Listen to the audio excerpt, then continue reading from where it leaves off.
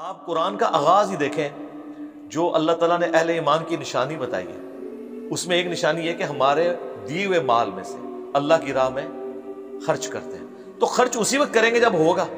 तो ये आप, एक सूफिया का मुकदमा है जो कहते हैं कि बिल्कुल आपके कपड़ों में भी मैल हो, दाढ़ी में भी जुएँ पड़ी हुई हो तो आप अल्लाह के करीब हैं। और एक नबी इस्लाम का कॉन्सेप्ट ये है मुस्नद आमद में अबू दाऊद में हदीस है, एक ऐसा शख्स हाजिर हुआ जिसके बाल बिखरे थे। आपने मैं तुझे कोई चीज़ नहीं मिली कि तू कंगी कर लेता।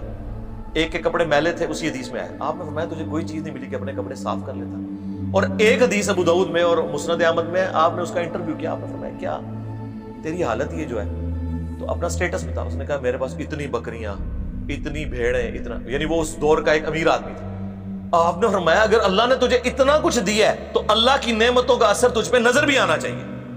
यानी यहाँ पे कुछ लोग होते हैं ना, वो अपने आप को ना, यानी वो लोगों की नज़र में